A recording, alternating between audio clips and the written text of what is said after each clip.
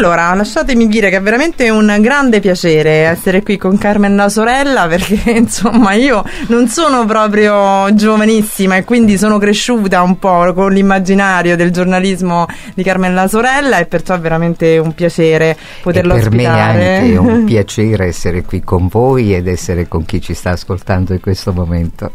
In realtà non parleremo, anzi parleremo anche di giornalismo perché non possiamo non farlo, ma parliamo in primis e soprattutto di un bel romanzo, il primo romanzo, sì, sì. Oh. dal punto di vista diciamo di narrativa, ecco. Sì, non è il primo libro ovviamente, ma è Esatto, il primo è romanzo. il primo romanzo. Il primo romanzo perché ehm, ho valutato che per attro- attraversare dei temi del nostro tempo, anche temi diciamo che fanno discutere, che trovano un'opinione pubblica divisa, che si prestano a mm, manipolazioni, a strumentalizzazioni e quant'altro, non bastasse un saggio.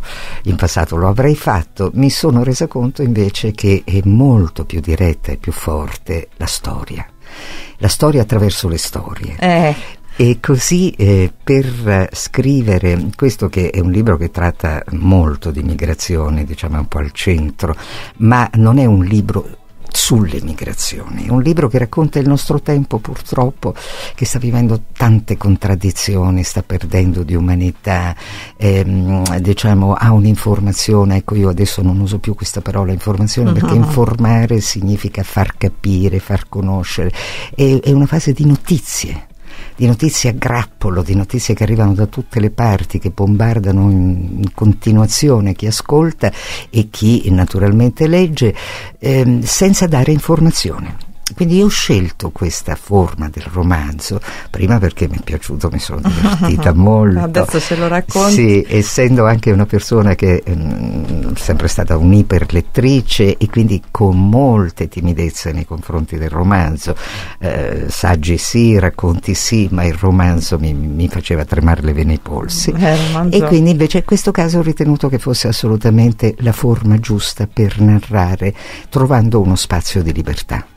Iniziamo dal titolo, Vera e gli schiavi del terzo millennio, questo è il sottotitolo, intanto la casa editrice Marietti, 1820, e Vera è la protagonista, anche se non è l'unica voce di questo romanzo. No, Ehm, vogliamo descrivere anche la copertina? Lo facciamo Lo subito? facciamo come vuoi. Va come bene, vuoi. va bene, come dai, facciamolo subito, co- Così intanto lo vedono schemi, questo ok. libro. E allora sì, la descrizione della copertina. Allora, mh, questa copertina eh, diciamo fa vedere un cielo pieno di nuvole, un mare eh, agitato ma non in tempesta, c'è una rete, c'è un blocco, c'è qualcosa che ferma l'orizzonte e c'è una strana figura femminile con i capelli un po' scomposti, non è una persona che tenga tanto a sé, non c'entra niente col romanzo, ma è una figura di donna perché sono tante le donne di questo romanzo e quindi mh, si è voluto scegliere una figura che in qualche modo eh, desse anche il segno non tanto dell'impotenza quanto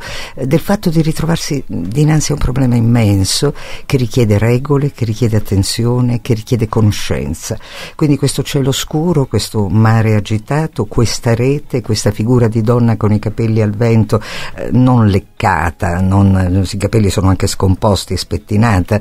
Poi c'è questo nome messo grande, io l'avrei voluto più piccolo, confesso, perché credo che i libri debbano avere soprattutto il titolo in evidenza, ma eh, poi ci sono le regole del marketing, mi sono dovuta rassegnare, quindi c'è il mio nome in bianco che si vede bene e poi c'è questa parola vera. Vera è il nome della protagonista, un'attivista per i diritti umani e poi eh, diciamo più piccolo è scritto e gli schiavi del terzo millennio. Il titolo però l'ha scelto tu? Il titolo è tutto mio, Ok, ovviamente. Perché le regole del marketing spesso impongono anche il titolo. Sì, ci hanno provato, devo dire la verità, però io sono una che insomma quando è convinta di una cosa la difende con le unghie e i denti. E quindi insomma questo è importante perché quando un autore scrive un romanzo e hai già in testa, che poi spesso e volentieri capita su- subito di avere in testa il titolo della storia, e insomma poi vederselo cambiare fa sempre un po' eh, eh, dà sempre un po' fastidio. Allora, gli schiavi del terzo millennio, insomma, è un sottotitolo importante, anche perché in questo sottotitolo ci sono i due temi, no? Un po' forti del romanzo. Uno è quello del mondo digitale, che è un mondo che, come giustamente accennavi, è quello che un po' ci sta mh, mm, insegnando, insomma, anche la difficoltà del nostro mestiere, no? Perché bisogna verificare continuamente anche le notizie, le fonti, eh, cosa è vero e cosa no, e come come darle, come filtrarle. E poi c'è eh, naturalmente gli schiavi del terzo millennio che insomma adesso per chiunque si trovi a fare eh, questo mestiere rassegna stampa quotidiana è un tema ai noi eh, che sembra diventato insormontabile ma in effetti è da tanto tempo che c'è forse... Questa che... è la storia degli uomini, le migrazioni attengono a come si è costituita l'umanità nella sua diversificazione in tutti i continenti. Quindi ehm, rispetto a un fenomeno strutturale naturale, quindi che sia chiaro, non è un'emergenza, non è un'invasione, no. non è niente, si usa un lessico completamente sbagliato. E rispetto a questa, a questa, situazione si è preferito scivolare purtroppo nella propaganda, nel qualunquismo e soprattutto la cosa grave che io trovo, vedi, è il fatto che eh, dalla situazione che stiamo vivendo emerge la disumanità, mm. la disumanità Prima c'era solo indifferenza rispetto a tante notizie, ci si girava dall'altra parte, non mi riguarda. Adesso invece le si guarda e si resta indifferenti che è una cosa ben peggiore. Cioè è paradossale come vedere mh, migliaia e migliaia di persone, a partire dai bambini, le, passando alle donne, arrivando appunto agli uomini di, che arrivano da tanti paesi e che vengono semplicemente indicati come africani, asiatici, sudamericani. È la stessa cosa come se in Europa noi dicessimo europei e basta. Noi ci teniamo ad essere italiani, come i francesi, uh, la miseria sicuramente, e così via. Quindi c'è questa semplificazione incredibile. Non so se voi sappiate che quando arrivano non li chiamano per nome, non li registrano per nome, ma con un numero. Pensate che salto all'indietro da paura siamo ritornati alle persone segnate da un numero. Se pensiamo che insomma alle stragi recenti viene in mente subito quella di Cutro di questa estate, eh, erano numeri e si parlava no, di quanti fossero stati ripescati, di quanti no, senza dare un minimo Chi di... è sul fronte, e eh, io ho fatto il corrispondente eh. di guerra e quindi purtroppo di atrocità ne, ne, ho viste tante, molte di queste mi sono rimaste addosso, dentro e così via. chi è sul fronte ha tutta questa propaganda, perché di propaganda che si tratta. Per esempio, giovedì l'altro, non sapete quante persone c'erano a Lampedusa? Zero. Che vuol dire? Vuol dire che Lampedusa è un posto di primo approdo, il, il, Padre Eterno ce l'ha messo lì e quindi chi viene dalle rotte dell'Africa lo trova prima di altre terre, come trova eh, le, le, coste balcaniche e via discorrendo se viene da altre latitudini e, o trova quelle spagnole se viene dalle altre latitudini ancora. Quindi Lampedusa è logico che non è che è un posto quando si dice al collasso, sovraffollamento, quello è un posto dove si arriva, si fa un primo screening e dopodiché eh, vengono spediti di qua di là e così via. E chi al fronte, appunto, gli operatori, ma le stesse autorità, penso al questore di Lampedusa, che no, poi è il questore eh. di Agrigento, piuttosto che al, al, prefetto, piuttosto che ai magistrati che operano in, in quelle aree, ci sono delle procedure che vengono osservate. Ecco, il problema è che sulle migrazioni non vengono osservate abbastanza per cui dopo che sono arrivati, quindi quando vengono salvati, perché appunto come sappiamo troppe volte non accade, e poi la seconda accoglienza che fine fa? Tutti i soldi che dà lo Stato che fine fanno? In quali tasche finiscono? Non certo nelle loro. E purtroppo, e io questo, di questo parlo nel libro, perché credo che appunto la narrazione, come è sempre stato nella storia eh, del, della letteratura, serve a capire meglio il proprio tempo. E io di questo parlo, parlo della truffa delle migrazioni, perché il problema è che non si risolve questo problema, non perché non ci siano le soluzioni, ma perché ci sono troppi soldi. Quando ci sono troppi soldi, evidentemente si preferisce lasciare tutto com'è. Non vale solo per l'Italia, vale per l'Europa che non ha un progetto sulle migrazioni, vale per le grandi organizzazioni internazionali che anche loro ricevono soldi per le migrazioni. Pensiamo ai campi profughi che ci sono in Turchia, per esempio, li vogliamo nominare? Io anni fa ci sono stata, vi assicuro, è qualcosa che veramente offende eh, qualsiasi persona che crede e ritiene a giusto titolo di appartenere al genere umano. Non c'è nessuno che ha capito come si può gestire l'accoglienza o un modello di paese, no? Capita per l'economia, capita per l'istruzione, capita per la sanità, di avere dei modelli di riferimento virtuosi. Per l'immigrazione questo non c'è. Beh, eh, allora, perché eh, si è costruita tutta questa, eh, questa propaganda sui clandestini? Allora, il clandestino chi è? Chi arriva di nascosto. Oppure chi arriva senza documenti. In moltissimi casi, non tutti, questi documenti non ci sono, perché sono stati, stati che sono saltati, stati falliti. Io sono stata in tanti paesi africani, in tanti paesi del Medio, del Vicino Oriente. Non c'è che vado in ufficio e mi faccio dare la copia mm, del passaporto, certo, non è praticabile. Non solo, ma eh, ci rendiamo conto di che cosa significa non avere un documento. Noi quando perdiamo una carta d'identità impazziamo perché nessuno ci riconosce. Come ti chiami? Mi chiamo Carmen. E chi lo dice? Te lo dico io. Non è vero. Allora i documenti siamo noi. Se non ce li danno, già ci tolgono la nostra umanità e non glieli danno. Poi naturalmente eh, c'è la patologia, per cui c'è tanta gente che su questo naturalmente ci gioca perché dichiara di arrivare da un posto non è vero e così via discorrendo, però anche lì, quando si dice paesi sicuri di provenienza, paesi non sicuri, per esempio la Tunisia è dichiarato paese sicuro, ma lo si sa che Sayed è un dittatore? Lo si sa che ha abolito qualsiasi dissenso nel suo paese, che la piccola dolce Tunisia che abbiamo conosciuto anni addietro dove ci furono le primavere arabe, dove c'erano cento giornali, dove le persone parlavano per la strada, che era un posto meraviglioso, è diventato un luogo di silenzi, perché altrimenti si finisce in un carcere nel deserto e si butta la chiave. Allora come si fa a definire sicuro un paese come quello? E la Siria e vogliamo continuare. Cioè la realtà è che noi abbiamo completamente destabilizzato delle aree che non avevano forme democratiche ma avevano governi riconosciuti dai, dai rispettivi paesi, sostituendoli con o governi fantoccio o realtà nelle quali purtroppo si va verso autocrazie feroci.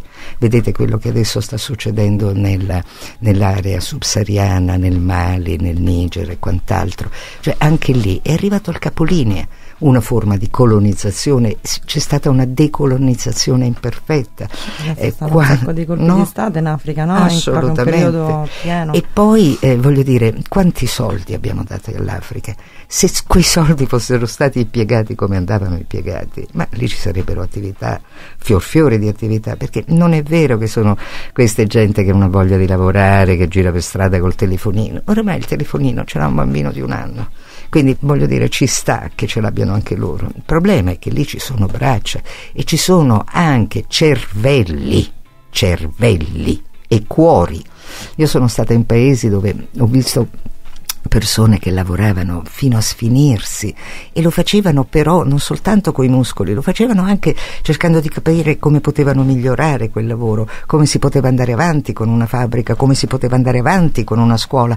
Ecco, questa è tutta una narrativa che non c'è. A tal proposito c'è un'altra narrativa sull'immigrazione che è pochissimo battuta, eh, che noi abbiamo raccontato in parte, eh, che è quella proprio del fenomeno della migrazione per l'impoverimento della terra e quindi proprio per la mancanza della possibilità di lavorare nella terra dove vivono e crescono, quindi con una grossissima anche sofferenza di dover abbandonare i luoghi dove si è nati e si è cresciuti, ma per esigenze dovute al clima, perché certo, anche il cambiamento climatico, la desertificazione, è, i esatto. pascoli che si seccano. E l'Africa è in uno stato veramente mh, insomma disperato da questo punto di vista. Ma l'Africa non è disperata, l'Africa è un paese che resta meraviglioso. Io i sorrisi che ho trovato in Africa, giuro, fatico a trovarli da queste parti perché lì hanno imparato a fare con quello che c'è, che è una condizione purtroppo dettata dalla necessità, ma che vede, ecco per esempio una cosa che qui abbiamo perduto, tanta solidarietà vera. Quando uno cade ci si ferma e gli si dà una mano. Mm è qualcosa di fondamentale. I figli sono i figli di tutti, eh, non si abbandonano. C'è sicuramente, ci sono dei limiti legati alle realtà claniche, lo sappiamo perfettamente, però c'è la musica, che è una musica meravigliosa, una musica che sgorga naturale, facile, da tutte le parti. Sono popoli con tanta gioia di vivere. E noi quando arrivano qua aggiungiamo al calvario che hanno vissuto il calvario che li aspetta e che costruiamo noi.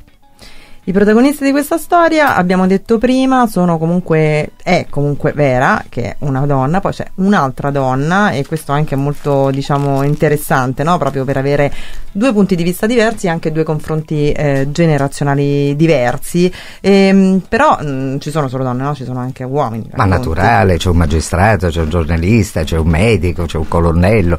Cioè io non sono assolutamente per questa lettura però, o mm, scrittura femminista, assolutamente però no. Però due donne donne che insomma vera nel, nello specifico che in qualche modo insomma mh, diventano eh, loro le, le, narratrici di questa storia con due punti diversi e due generazioni esatto diverse. le generazioni ecco io ho voluto fare un romanzo polifonico perché nel mio mestiere nel nostro mestiere bisogna sentire tante voci no?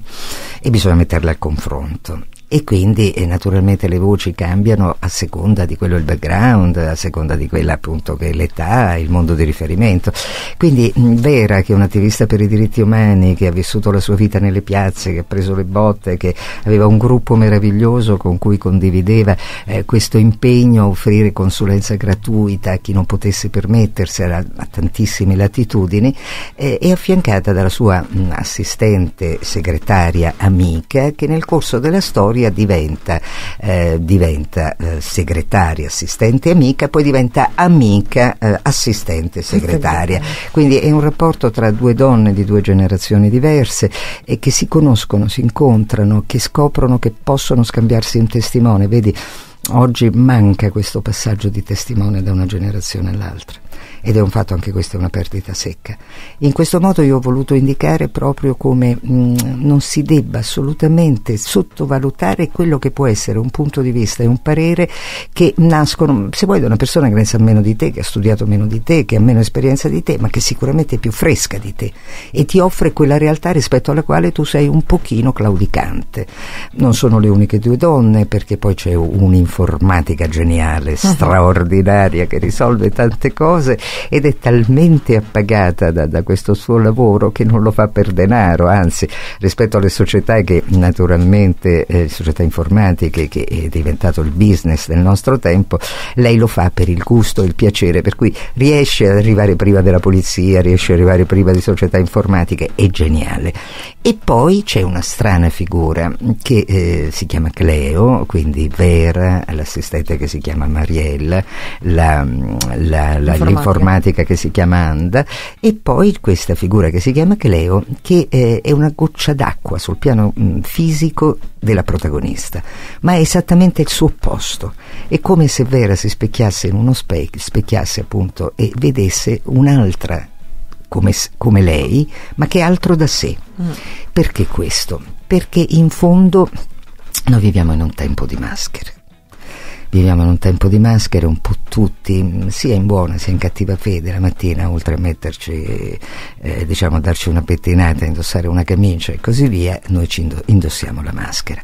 Ecco, Vera è di nome di fatto una persona vera e, ehm, e però eh, indubbiamente anche a lei hanno messo un'immagine addosso, che è quella appunto di un attivista, di una, di un, anche un, una che scassa, una che rompe le scatole, insomma.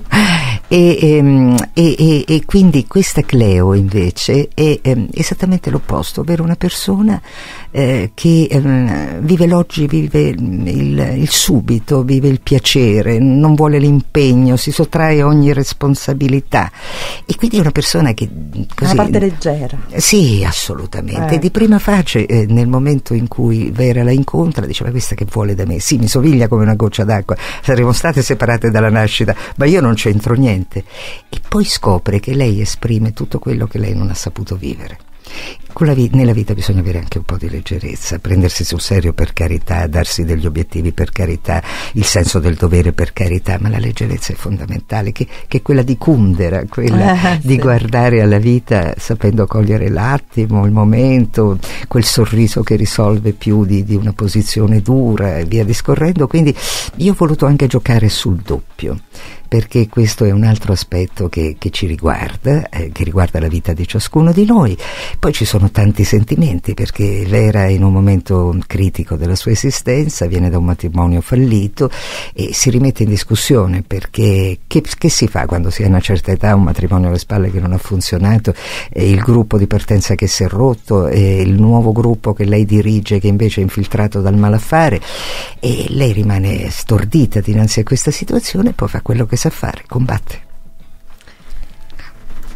Com'è stato mh, passare alla scrittura narrativa? Adesso andiamo un po' più nel dettaglio, diciamo, stilistico, no? Un giornalista deve mantenere un tipo di scrittura distaccata o comunque, ecco, molto legata all'analisi, ai fatti, alla cronaca. Qui eh, ci si è divertiti un po' di più senz'altro, però strutturare un libro, soprattutto con più, eh, insomma, punti di vista, dando stili diversi, quindi anche, no? A seconda del personaggio è sicuramente un impegno diverso. Ecco, quanto tempo ci ha voluto per pensare questa storia e renderla reale sulla carta e qual è stata la, la, cosa che ti ha fatto faticare di più? Ma guarda, quando l'ho fatto vedere a un mio amico che è un direttore editoriale eh, di una casa editrice che poi non l'ha stampato, perché per un motivo semplice mi ha detto Carmen, questo libro è troppo forte per noi. Mm. Che vuol dire troppo forte? Vuol dire che si affrontano delle tematiche e si affrontano delle tematiche forti. Io non, non vedo perché la narrativa debba essere solo fantasia c'è tanta fantasia, ma c'è anche il nostro tempo. Direi che è un libro sul nostro tempo, prima di tutto, che non sulle migrazioni. E lui mi ha detto: Hai voluto fare un libro ambizioso. Io eh, non me ne sono resa conto e non mi ha sicuramente spinto l'ambizione, eh, però eh, nel momento che ho cominciato a scriverlo mi sono innanzitutto appoggiata alla scrittura, quello che nel mio mestiere ho potuto fare sempre fino a un certo punto, mm. perché il gusto dell'aggettivo giusto, mm, la frase eh, che cerca diciamo il piacere dello sguardo, perché leggere significa anche vedere quello che stai scrivendo. Io ho scritto quasi, è un libro che si vede eh, infatti mh, nella, nella, presentazione c'è scritto un libro che si segue con i cinque sensi. Ci sono gli odori, ci sono i profumi, eh, c'è la natura, ehm, c'è questo rapporto con la musica fondamentale. Io ho studiato musica e, e ho eh. voluto che Vera eh, diciamo, potesse trasferire anche il senso di quella musica che sicuramente oggi è meno di moda come possa essere la lirica, la, la lirica, musica classica no? e quant'altro. Che abbiamo sì. citato diverse Tra l'altro volte. Puccini è un uomo moderno ah? perché Madame Batter Firefly, mm, di cui viene raccontata un po' l'ambiente, la storia e quant'altro, lui faceva una critica della società del suo tempo, uh-huh. perché Puccini, esaltando la figura della piccola geisha, Chocho San, praticamente dava il segno di come questo presunto primato dell'Occidente andava dimostrato, perché non era così eh, per opera mh, mm, dello Spirito Santo. E quindi mh, mm, un uomo avanti, un uomo che amava le donne, un uomo che scrive delle arie meravigliose. Però la eh, segretaria, assistente, eccetera, eh, gli piace il funky, c'è poco da fare, non solo, ma eh, diciamo i suoi interessi, i suoi sono di altro segno, quindi c'è anche quell'altra musica e poi c'è il jazz, che è una cosa meravigliosa che credo accomuni un po' tutti quanti.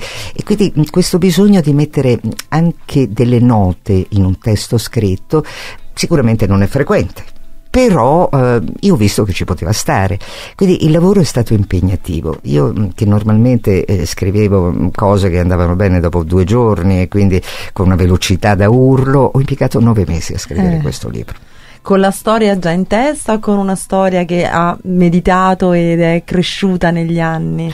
No, la storia è venuta fuori eh, a un certo punto, per cui io ho detto sì, mi devo occupare di questa cosa, in questo momento non posso fare un reportage eh, per raccontare come stanno le cose, non ho una trasmissione dove lo posso fare, eh, non ho uno spazio di informazione, non un notiziario dove altrettanto potrei farlo e quindi che faccio? Scrivo un libro. Ecco, quindi io ho scritto questo libro perché avevo proprio bisogno di affrontare questi temi che sono quello legato alla, alla mobilità. Ecco, migrazione oramai la trovo una parolaccia, non mi piace più usare questa parola di migranti perché sembra una massa informe, anche perché poi, parliamoci chiaro, noi abbiamo scontato con la guerra in Ucraina questa migrazione immensa degli ucraini. Eh, sono stati circa 9 milioni di ucraini sparsi in Europa in tre mesi con permessi di soggiorno, con permessi di lavoro. Qui stiamo parlando di numeri che sono intorno ai 100.000 anno. tutti quelli che sono spariti. Eh, se, ecco. Quindi voglio dire, mm, il discorso è, è, che lì la soluzione si è trovata, non solo perché biondi con gli occhi azzurri no, e quant'altro, certo. ma anche per altre ragioni, ragioni politiche. Negli altri casi non si trovano. E, e quindi mh, mm, questo libro eh, io l'ho voluto proprio fortissimamente. La storia poi devo dire che è andata per i fatti suoi. È così di solito. Succede così. Quindi avevo scritto un soggetto, avevo anche ragionato. C'è pure di solito un personaggio però che non nasce nelle idee come quello che poi invece appunto fa da solo. C'è nel tuo libro un personaggio che è venuto fuori strada facendo, doveva avere un altro percorso, invece poi si è preso una fetta di storia diversa da come l'avevi pianificata? Ma ti devo dire che per esempio il magistrato, ehm, io ho una formazione giuridica. Quindi nei confronti del diritto, della legge ho una sensibilità particolare perché è stata la mia formazione e quindi non volevo dare grande risalto a questo, a questo magistrato. Invece poi gliel'ho dato perché ho dipinto eh, qualcosa che anche lì non è frequentissimo. Purtroppo nel mestiere del giornalista, nel mestiere del magistrato e in tanti altri mestieri è entrata a gamba tesa la politica. E quindi quando un magistrato fa una cosa normale, che è il suo lavoro, dice, ah, è contro di noi. Che vuol dire? Non vuol dire niente, c'è la legge, o si applica o non si applica. Un provvedimento è legittimo o non è legittimo, cioè siamo in questa situazione.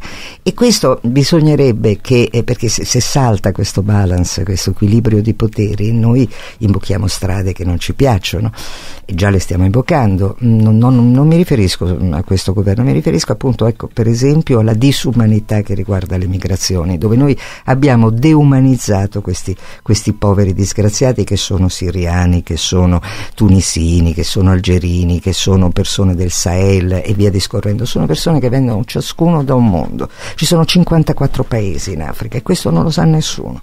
Io di 54 ne, ce ne sarò stata in 45, per cui me la sono girata in largo e in lungo e, e devo dire che sono come tutti coloro che hanno conosciuto l'Africa più volte nel tempo, rimango assolutamente innamorata di quel continente.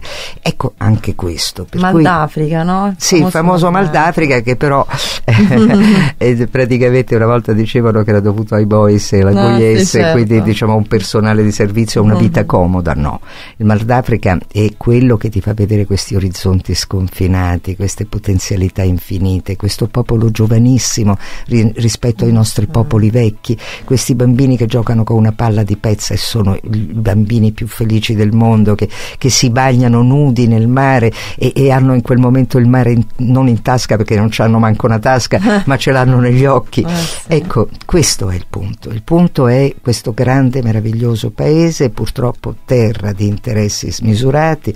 Prima c'erano soprattutto quelli europei poi sono arrivati quelli cinesi poi sono arrivati quelli russi adesso ci sono quelli dell'Arabia Saudita ci sono quelli turchi e via discorrendo. Quindi un paese che continua ad essere depresso predato, ma che potrebbe oggi utilmente con le sue classi dirigenti andare avanti. E in qualche paese questo accade, tra mille difficoltà, perché il problema non è dare il pesce a chi sta morendo di fare, ma dargli la famosa canna da pesce, da, per, per, pescare il pesce. Eh, e, e questa canna da pesca nessuno gliela vuol dare. Questo è il problema. Nel libro si parla di era digitale naturalmente, quindi l'importanza anche della tecnologia, no? che sicuramente negli ultimi anni ha avuto un esploit enorme no? rispetto a qualche tempo fa. Mm, l'esempio di prima del telefonino che adesso ce l'hanno tutti. Cosa Vabbè, ma quello è il meno, oramai noi siamo nell'era dell'intelligenza artificiale, eh, esatto. dei processori quantici, del metaverso Cosa e non lo sappiamo cosa di questo, Carmen, rispetto a prima può essere veramente d'aiuto alla, all'informazione, non alla notizia? Cosa mh, bisogna prendere di positivo dell'era digitale? Beh, vedi, Steve Jobs diceva non c'è una tecnologia buona o una tecnologia cattiva. La tecnologia sta nelle mani degli uomini. Dipende se queste mani sono le mani di uomini eh, che vogliono cambiare il mondo oh no. oppure lo vogliono soggiogare. e questo è il punto. E io, vedi, eh, prima di scrivere questo libro ho diretto all'università un master sulle migrazioni ehm, che ho voluto fare anche lì perché volevo capire, approfondire. Non si parla a schiovere, mm, è un romanzo, però bisogna conoscere i fatti. Io i fatti li ho lasciati, ma inevitabilmente ci sono ritornata. E, ehm, e anche sulla tecnologia c'è stato un periodo che io ero presidente di RaiNet, che era la sì. società RAI preposta allo sviluppo digitale e in quel periodo io naturalmente mi sono immersa in questo mondo, eh, soprattutto diciamo non tanto nella nostra realtà che era rimasta indietro, quanto nelle realtà più avanzate, quindi nelle realtà eh, americane, nelle realtà asiatiche e via discorrendo. E devo dire, ogni volta come un bambino rimanevo frastornata da questi cambiamenti continui, immediati, totali e mi sentivo analfabeta. Come presidente di Renet io ho portato al consiglio d'amministrazione della RAI e poi alla presidenza del consiglio italiano, e in quel momento c'era Letta, e poi alla Confindustria Digitale e in tutte le sedi eh, che erano proprie un progetto per l'alfabetizzazione informatica che ritengo assolutamente necessario perché noi stiamo entrando con grande paura in questo vedi anche nel libro c'è una sorta di mm, diciamo uh, contra- insomma, speculare situazione tra queste queste persone che arrivano in un mondo che hanno visto attraverso le fotografie e i filmati ma che non conoscono e noi che siamo oramai, non stiamo, siamo in un mondo che non conosciamo e rispetto al quale non abbiamo chiavi e di cui non vogliamo essere sudditi, ma l'unico modo per non esserlo è sapere.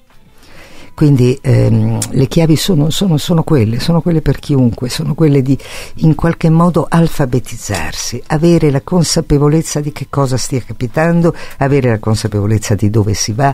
È logico che rispetto all'intelligenza artificiale si parla tanto di un codice etico, del fatto che comunque gli uomini devono continuare a decidere loro senza lasciare che siano le macchine che creino altre macchine, ma già accade, non basta. Il problema è come al solito, quello di essere consapevoli che se noi non fissiamo delle regole, noi andremo a rotoli. Questo è il dato. È questo che mi spaventa. Il fatto che gli uomini non riescano a mettere le regole, a mettere gli argini. I fiumi senza gli argini straripano. Uh-huh. E questo è il punto. Noi in questa realtà dobbiamo in qualche modo dotarci di regole, al di là dell'etica fondamentale che però quella o la coltivi o non c'è, dotarci di regole per non venire travolti da qualcosa che già oggi sta galoppando a ritmi incredibili, che ci trova disorientati, disarmati, incompetenti e che quindi poi ci renderà facile preda di qualsiasi percorso rispetto al quale non saremo più, pro- più protagonisti. Questo e molto altro viene detto in eh, Vera, naturalmente gli schiavi del terzo millennio, che vi ricordo questo è il titolo del, del libro di Carmen la sorella Marietti eh, 1820, eh, che è già nelle librerie da, mm, dai primi di luglio, è uscito a fine di giugno, il 30 di giugno. Le presentazioni, Carmen, ce ne sono alcune che possiamo ricordare? Sì, adesso per esempio, ecco a proposito di tecnologia, vado, vado a Como, dove si, ci sarà una sorta di Cernobio digitale dove il libro è un po' in secondo piano, ma ci sarà pure Vera. E perché voglio vedere da vicino ci saranno mm, i grandi guru dell'informatica mondiale, molti sono italiani. Eh che però sono dovuti andare all'estero. L'estero. È la solita vecchia trita storia. Qui la politica mette bocca nella scienza, nell'arte, nelle cose, non si può andare avanti così. Uh-huh. Per cui ci sono delle fortissime individualità che lì hanno trovato il sistema di sostegno, fortissime individualità che qui non lo trovano. Quindi vado lì, eh, dopodiché ho un paio di presentazioni a Sutri, un posto delizioso, sì. ce l'ho a Pordenone, ce l'ho al Festival della Sociologia di Narni, poi sarò al Museo della Piaggio dove presenterò sempre libri con grande attenzione perché la mobilità non è solo quella della Vespa. Vero, è e anche poi, quella... ecco, se lo vogliamo citare, ci sarà questo appuntamento romano il 23 che è un appuntamento al Festival eh, della Diplomazia. Io sono da anni in questo board, essendomi occupata di politica internazionale per tanti anni, e in questo caso, ecco, in questa presentazione mh, entreremo molto, al di là dell'aspetto del linguaggio che è fondamentale, e io lo ribadisco, è un romanzo, non è un saggio, quindi insomma la parola come scritta fa la differenza, e, ma eh, entreremo molto nel merito di queste ipotesi al possibili, dove per esempio la butto là, ma poi lo svilupperemo un'altra volta, perché c'è tutto questo, perché si favorisce l'illegalità se ci fosse la legalità il business finirebbe. Non ci sarebbe, certo, certo.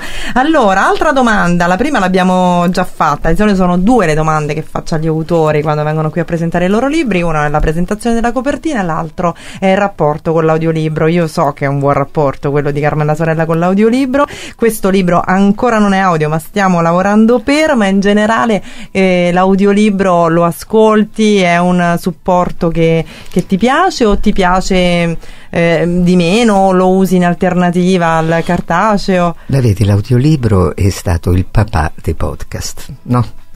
Per cui eh, diciamo chi ha problemi di vista, ma non solo, anche chi ha problemi di tempo, che non ha tempo, eh, chi ha una vita mh, mm, così dove, dove il, il, piacere della lettura, perché la lettura è un piacere, guai se noi togliamo alla lettura questa caratteristica. La lettura è un piacere, è un momento proprio, fa bene all'anima, è una cosa che ti, ti come bevo l'acqua, come mangio una cosa, così devo leggere, è uguale. E, e allora l'audio è diventato un, oggi più che mai, ecco proprio nel cambiamento anche dei mezzi, c'è una rivalutazione dell'audio, come c'è una rivalutazione, dunque una rivalutazione della radio e dunque una, una crescita esponenziale del mondo del podcast. Quindi per quanto mi riguarda io sono assolutamente non favorevole, di più ne sono un'entusiasta sostenitrice. A me piace leggerlo un libro perché mi appassiona appoggio sulle pagine perché vado avanti, vado indietro, la tocco, quella è una vecchia storia, però sono una fruitrice di audio. Quindi eh, questo audiolibro mh, mm, mi sono mossa perché dopo aver eh, diciamo intanto promosso un po' questo libro che da un paio di mesi, adesso devo assolutamente realizzare questo audiolibro, lo vorrei leggere direttamente, eh, mh, non fosse altro perché è una creatura, la conosco, insomma, quindi lo, lo, Ma l'ho diciamo che ti puoi dire tutto tranne che tu non abbia la voce adatta, Carmen, per, per leggere un audiolibro. E, e chissà, chissà, forse collabore, collaboreremo anche insieme. Chissà. chissà. Allora, lasciamo con questa così, questa suspense e questa speranza, più che suspense a proposito, mm, c'è un termine, ecco, eh, nel libro, no? Quello dell'utopia, che, che è importante. E, ci tenevo a, a dire questa, questa, cosa anche perché eh, giustamente dice che co- a che cosa serve eh, l'utopia? Serve a questo, a non dover mai smettere di camminare, no? Quindi un po'. Perché c'è questa frase di Galeano che dice: mm, Io cammino di dieci passi e l'orizzonte si sposta di dieci passi, ne faccio 30. Eh, non saranno questi numeri, non me lo ricordo esattamente. E l'orizzonte si sposta di 30 passi. Ma allora io non raggiungerò mai l'orizzonte. E, però, e allora che ci faccio con l'utopia? Ci fai che ci cammini continui a camminare, è il cammino dell'umanità che deve avere i suoi sogni. Senza sogni non andiamo lontano. Mi sembra un bellissimo messaggio, voglio chiudere con questo, grazie a Carmen la sorella per essere, stati, per essere stata qui, di persona tra l'altro, eh, ve, lo, ve, lo, dico perché insomma non è cosa comune, eh, adesso nel mondo che va sempre di fretta, spesso anche le interviste si realizzano solo telefonicamente, invece grazie dell'onore. Sono io che ringrazio qui, te veramente. di cuore e complimenti per questa conduttrice, non è una, una captazione Fabrizio Benevolenzi, ma eh, c'ho un foglio davanti con una serie di appunti che riguardano il libro, quindi grazie. grazie a Carmela Sorella, mi raccomando, in libreria Vera e gli schiavi del terzo millennio, Marietti 1820, Carmela Sorella è stata con noi.